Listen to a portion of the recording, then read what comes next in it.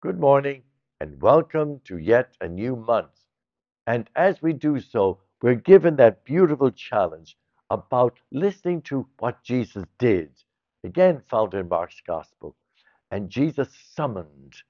Imagine summoned. You know, we get summoned to be on a jury duty. Jesus summoned the 12. First thing, am I summoned in any way by the Lord?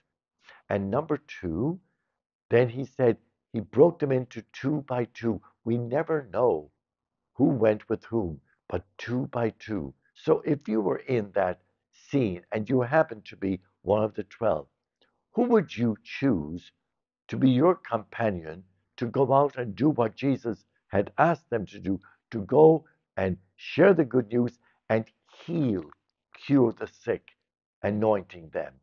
And that's what we do in the church today celebrate that gift of sacramental love for the sick.